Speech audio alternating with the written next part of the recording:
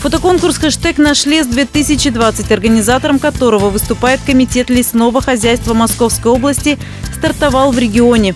Конкурс приурочен к традиционной экологической акции «Наш лес. Посади свое дерево». Победителя определит специальная программа, которая сгенерирует случайный выбор. Для участия в конкурсе нужно сделать фото на тему «Красота подмосковного леса», разместить ее на своей личной странице в Инстаграм и прикрепить хэштег «Наш лес 2020».